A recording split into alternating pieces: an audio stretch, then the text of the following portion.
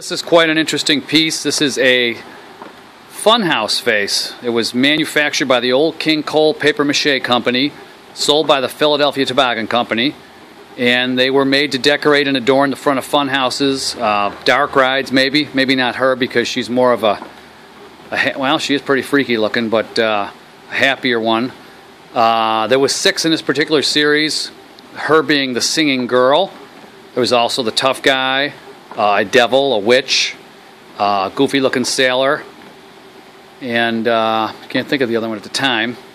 But uh, we just finished her. She was really beat up, all paper mache, uh, a little electric motor, crude me mechanism in the back.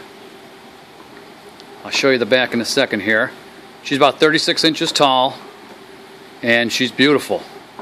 Freaky, but beautiful piece. About the best I can get uh, as far as getting a shot of the mechanism. Just basically band iron, springs, and pivoting on uh, quarter inch bolts. One more shot of her front. At this point we don't know of any others that have survived. I'm sure there probably are some kicking around in private collections. But uh, at this point we don't know where they are.